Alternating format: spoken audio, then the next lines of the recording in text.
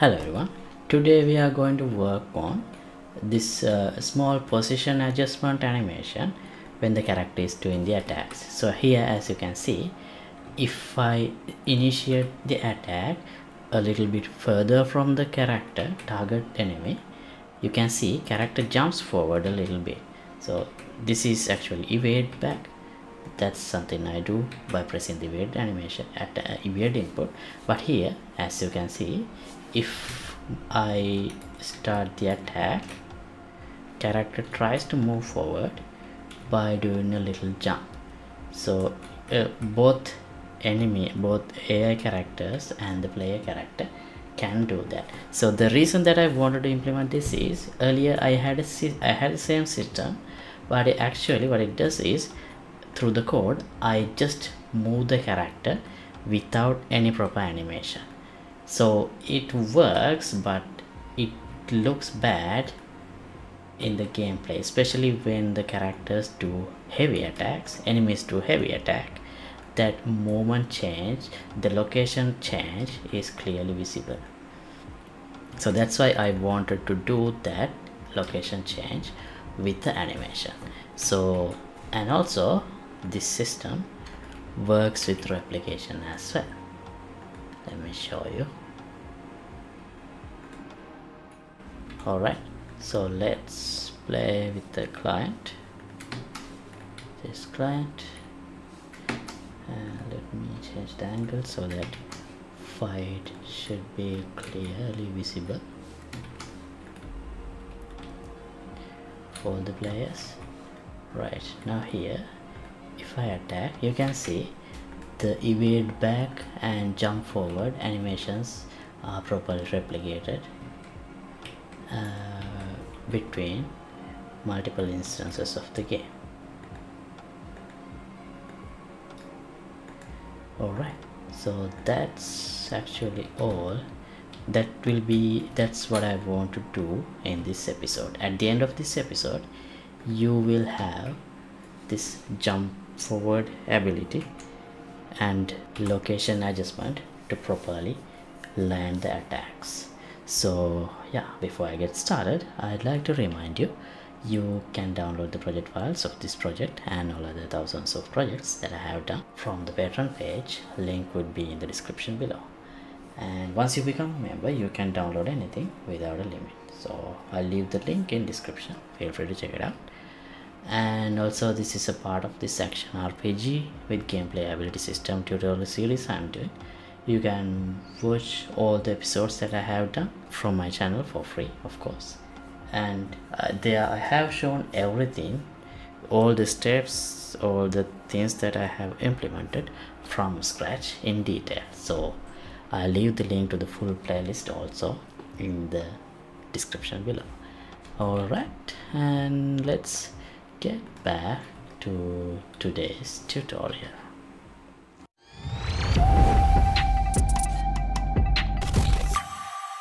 okay so right now what happens is if I start fighting here if I attack you can see I disabled the movement part in a previous video because uh, I don't want to snap the character character's position. So because of that now we don't it's really hard to attack because we have to be we have to move the character to make sure that it actually hit the enemy. To make sure the characters are within the range that they get hit see? Which is not very convenient. And the system previously I had and I disabled is this. Dark sort here this part where I manually set the location of the player to a closer position. Like this see? It's not so here you can see. But what happens is the characters are manually moved forward. So that's visible especially when they do uh, a heavy attack like that. See? When we uh, when we evade back that is clear. So I want to have a, instead of moving manually through the code I want to have natural way maybe do some jump forward a quick jump forward animation and then do the attacks. I want to do something like that. So in my animations I have this evade forward animation which is this. So what I'm planning to do is if the character is uh, far from the uh, target enemy closest enemy that the player wants to attack I want to play this animation and make sure character moves forward before it do the attack animation. So first let's create a montage. And also I'll enable root motion for this so that character will actually move forward. Okay. And then uh, one more thing. So this has to be quick. So therefore I'll make this maybe twice the rate. And also only in this part the actual movement happens. The rest is just characters standing still. Uh, not movement just stabilizing. So maybe around here it's let me change the time format to seconds. So at 0.27 it uh, it has done all the movement. So I'll set the blend I'll make this blend time. Oh, which one should I change? This or this? Hmm. let's try this. Let's make this uh, 0.4 seconds. So that from the end 0.4 0.6 minus 0.4 would be 0.2 let's try that and where should I play that animation? So I think here. So before we play the animation we need to make sure the character is facing towards the target enemy. That means it would be this closest enemy.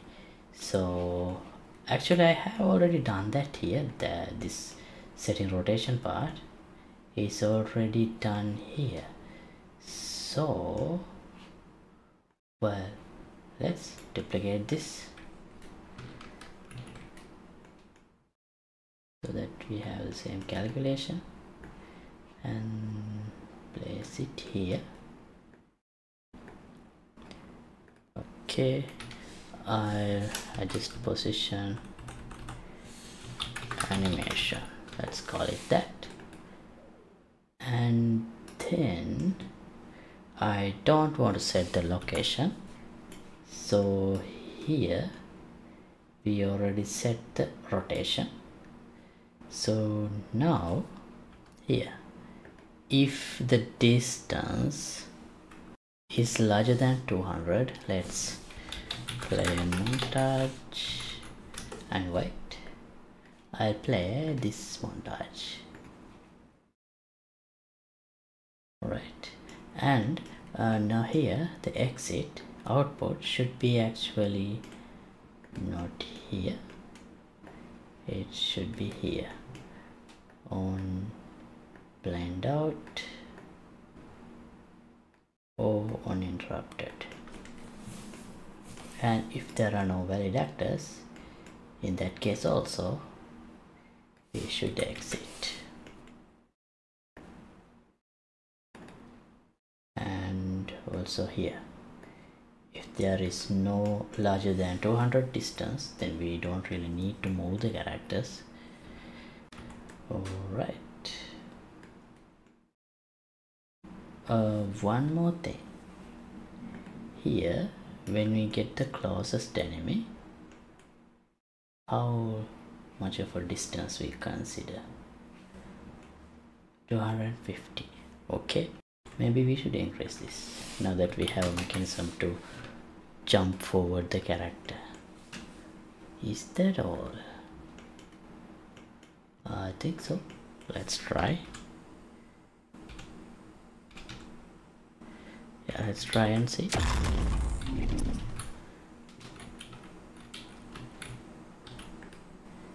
Alright so the character did do the jump forward. See? Uh, enemy didn't do that. Did it?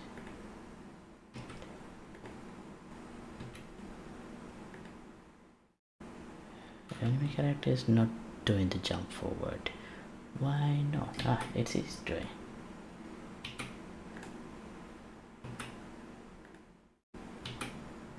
Let's try again okay. So one more thing. I don't think now that I have I am doing this uh, jump forward with the animation we may not need this part. So I'll just break this. And yeah I'll just set the rotation only just in case at the end character is facing some other direction and also I think I need to fine tune this a little bit because sometimes character is moving too closer to the enemy. So in this case it's fine but if it is like this see it's not necessary to move that close.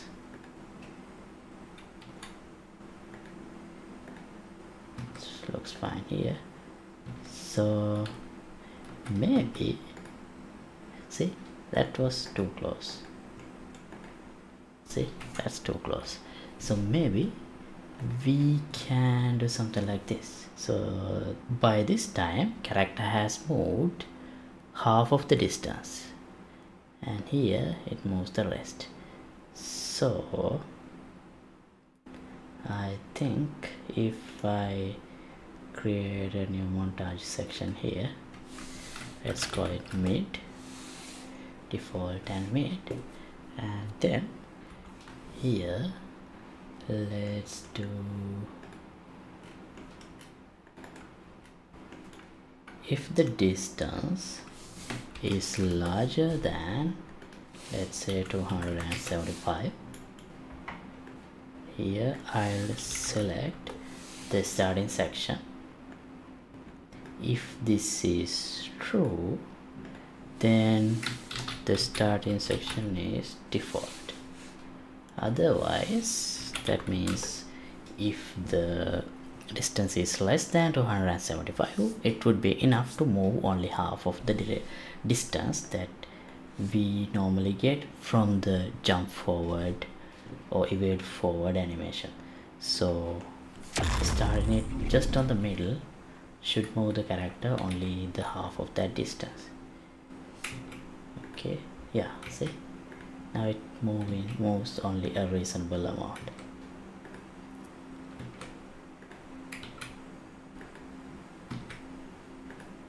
All right.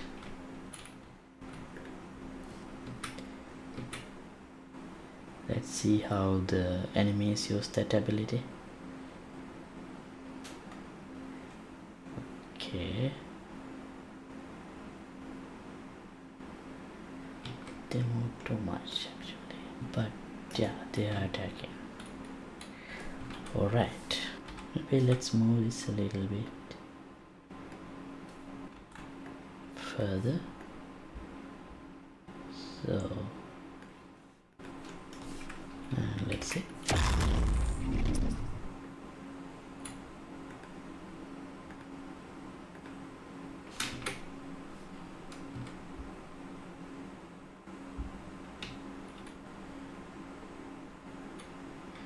Yeah that seems better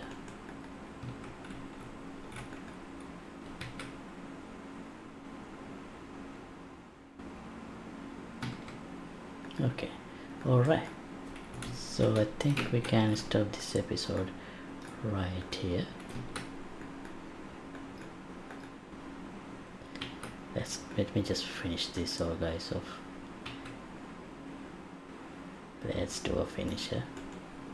Oh I couldn't do a finisher. I couldn't time my block in properly. Let's wait for another blockable attack. Right. Great okay.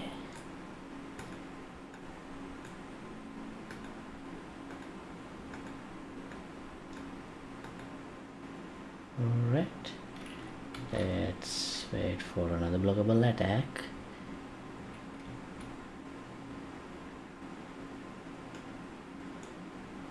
Oh, it's an unblockable attack. So yeah, that's actually all I wanted to do for today's episode. Great. So as for the next episodes, maybe I should look into uh, well, I need to cover stealth attacks like stealth takedowns and also I need to have multiple different types of weapons as well but yeah let's see maybe we need to polish up the AI of the enemy. Anyway let's continue to work on this step by step until it becomes perfect. And I forgot to test one more thing but I don't really have to test. This should work without any issue in the multiplayer mode as well. So let's test with the client